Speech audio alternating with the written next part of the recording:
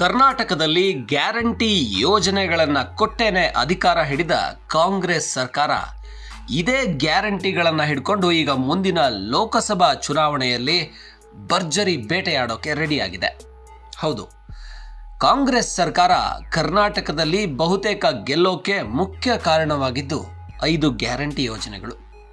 ಜನ ಈಗ ಗ್ಯಾರಂಟಿ ಯೋಜನೆಗಳು ಸಿಕ್ಕಿದ್ರೆ ಕಾಂಗ್ರೆಸ್ಸಿಗೆ ಓಟ್ ಹಾಕಿದ್ದು ಸಾರ್ಥಕ ಅನ್ಕೋತಿದ್ದಾರೆ.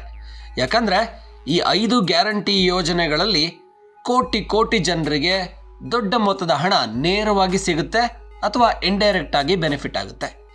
ಇದು ಕರ್ನಾಟಕದಲ್ಲಿ ಗೆಲ್ಲೋದಕ್ಕೆ ಮುಖ್ಯ ಕಾರಣ ಆಯಿತು ಅನ್ನೋದನ್ನು ವಿಶ್ಲೇಷಣೆ ಮಾಡಿರುವಂತಹ ಕಾಂಗ್ರೆಸ್ ಈಗ ದೇಶದ ಮುಂದಿನ ಎರಡು ಸಾವಿರದ ಇಪ್ಪತ್ನಾಲ್ಕರ ಲೋಕಸಭಾ ಚುನಾವಣೆಗೆ ಕೂಡ ಇದನ್ನೇ ಪ್ರಣಾಳಿಕೆ ಮಾಡಿಕೊಳ್ಳುವ ಯೋಜನೆ ಹಾಕ್ಕೊಂಡಿದೆ.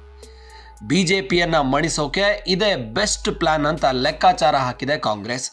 ಯಾಕಂದ್ರೆ ದೇಶದ ಬಿಜೆಪಿಯ ಎಲ್ಲ ಘಟಾನುಘಟಿ ನಾಯಕರು ಕರ್ನಾಟಕಕ್ಕೆ ಕಾಲಿಟ್ಟು ಪ್ರಚಾರ ಮಾಡಿದರೂ ಕೂಡ ಸ್ವತಃ ನರೇಂದ್ರ ಮೋದಿ, ಅಮಿತ್ ಶಾ ಅಂತಹ ಘಟಾನುಘಟಿಗಳು ವಾರಗಟ್ಟಲೆ ಇಲ್ಲಿದ್ದು ಪ್ರಚಾರ ಮಾಡಿದರೂ ಕೂಡ ಕಾಂಗ್ರೆಸ್ ಗೆಲ್ಲೋಕೆ ಕಾರಣವಾಗಿದ್ದು ಕಾಂಗ್ರೆಸ್ನ ಐದು ಉಚಿತ ಗ್ಯಾರಂಟಿಗಳು.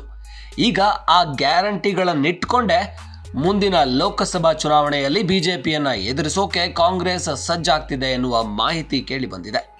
ಹಾಗೇನಾದ್ರೂ ಆಗಿದ್ದೆ ಆದರೆ ಇಡೀ ಭಾರತ ಕೂಡ ಮತ್ತೊಮ್ಮೆ ಕಾಂಗ್ರೆಸ್ನ ಉಚಿತ ಗ್ಯಾರಂಟಿಗಳಿಗೆ ಮರಳಾಗುತ್ತಾ ಅನ್ನೋದನ್ನ ಕಾದು ನೋಡಬೇಕು.